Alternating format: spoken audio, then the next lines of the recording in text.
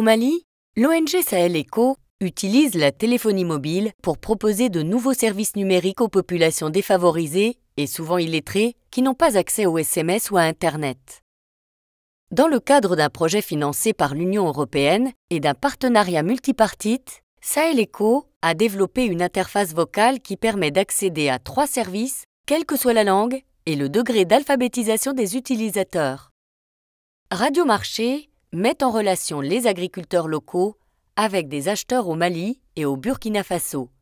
Ce service transforme des informations envoyées par téléphone en messages vocaux générés par ordinateur pour être diffusés sur les ondes des radios communautaires.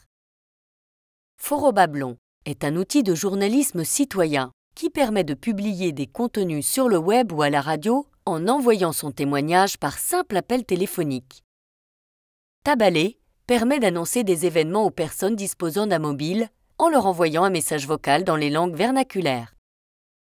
En contournant les obstacles posés par l'illettrisme, cette innovation permet de dynamiser le commerce et de favoriser l'inclusion sociale des femmes et des jeunes.